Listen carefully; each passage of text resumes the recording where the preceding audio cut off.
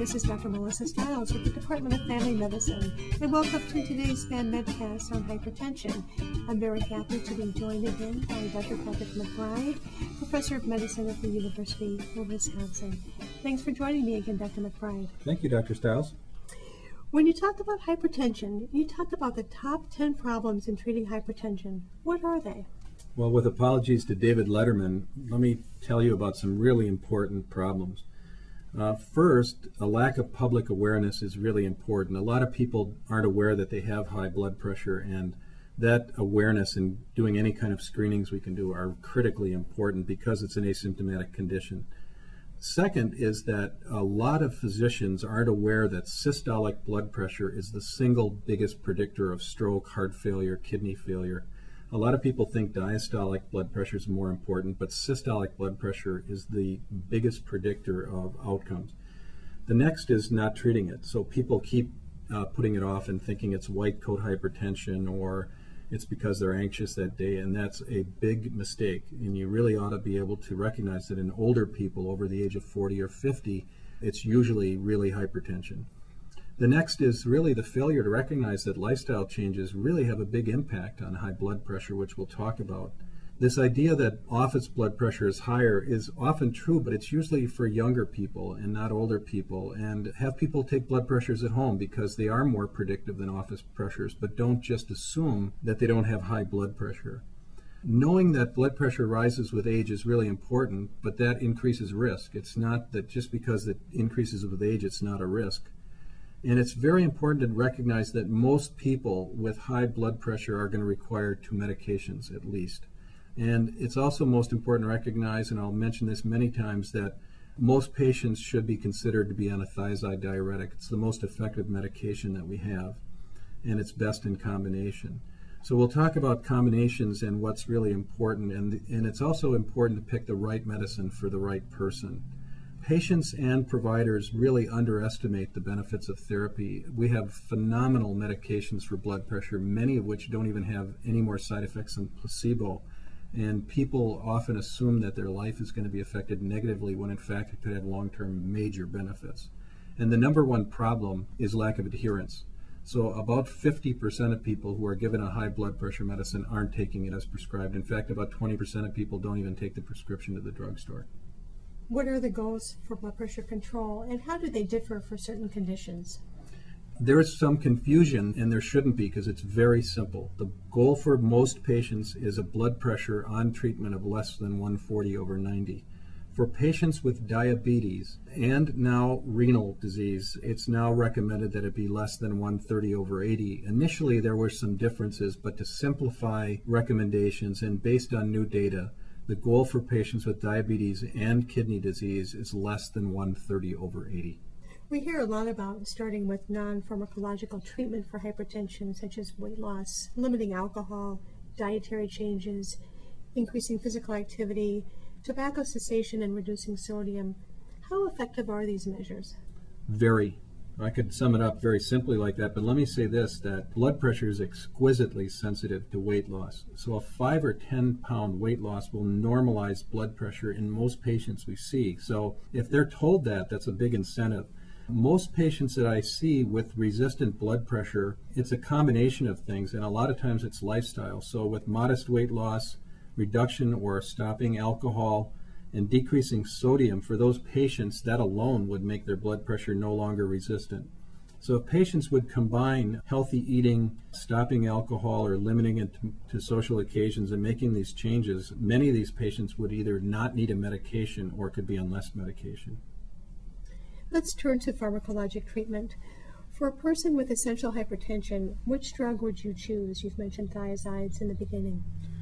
Uh, the first thing is you should tailor the medication to a person's indication. So there are compelling indications for certain medications that you should see if you have first. So, for example, a diabetic patient, the first thought should be an ACE inhibitor because if a person has glucose intolerance or diabetes, you can either prevent diabetes or significantly reduce the complication of diabetes. So that's, of course, also true for a patient with heart disease or heart failure.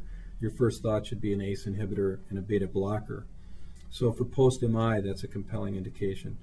For a person with stroke, uh, the first choice should be a thiazide diuretic, and the second choice should either be an ACE inhibitor or a calcium blocker because we know in the elderly that those two medications are the most effective. That's a thiazide, calcium blocker, ACE inhibitor. Those are the most effective for stroke prevention.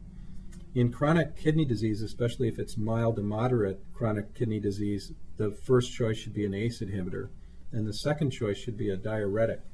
If the kidney disease is mild, then it could be a thiazide, but it, it should be a loop diuretic if the GFR, the glomerular filtration rate, is less than 50. Other than that, I usually say you should find a reason not to use a thiazide diuretic because the first choice for most patients would be a thiazide diuretic because the evidence is very compelling, very strong that the thiazide diuretic is most effective at lowering blood pressure. It's more effective than all other classes. And it also has the best outcomes in terms of reducing events. There are multiple studies that show this, the most important being the recent ALLHAT study, which studied lots of different patient groups, and it showed that in patients of color, male and female patients, old and young, thiazide diuretics were as or more effective than all other classes of medications. One question on thiazides. I often see people on 50 milligrams. Can you expand on the optimal dose and side effects? That's a great question because it's really important to recognize that m- many people, especially the elderly, would respond to 12.5 milligrams of a thiazide diuretic, and nearly all patients, 25 milligrams is the dose that they should be on generally a dose higher than 25 milligrams is not only not any more effective, but it could cause higher side effects such as hypokalemia or other side effects. Uh, the only time I go to 50 milligrams of a thiazide diuretic based on literature is if the patient is large. So if I have a very big male patient or an obese patient, I'll occasionally go to 50 milligrams, but that's pretty unusual. Usually you'll get no more benefit going higher than 25 milligrams in blood pressure. If the blood pressure is not at goal with the initial medication, how do you decide between stopping that medicine and substituting another or adding another agent from a different class? Uh, a common error in blood pressure treatment is uh, not achieving blood pressure in one medication, they stop the medicine and start another one. Really, you have to remember that most patients are going to need two or more. At least two thirds of patients with high blood pressure require at least two. So the smartest thing to do is start the right medicine for a compelling indication or starting with a diuretic and then adding a second medication. And if you want to improve adherence, combination medications are the smartest way to do that because most people would take one pill rather than two. So a good example of that is if you've started one medication, uh, like an ACE inhibitor, or any other medication, the next choice should probably be a thiazide diuretic. So it's very important to recognize that a thiazide diuretic is synergistic with every other class of medications because every other antihypertensive increases plasma volume, and then a diuretic will reduce plasma volume and be synergistic with every other class. What are the potential causes for inadequate response to drug therapy? The most important causes for inadequate response to other therapy is number one, non adherence to therapy, number two, non adherence to therapy, and number three, non adherence to therapy. So that's what you should be, and we're not very good judges at who does that. But to also mention the other causes, I frequently find things like people taking nonsteroidal anti-inflammatories every day, so ibuprofen, naproxen, etc.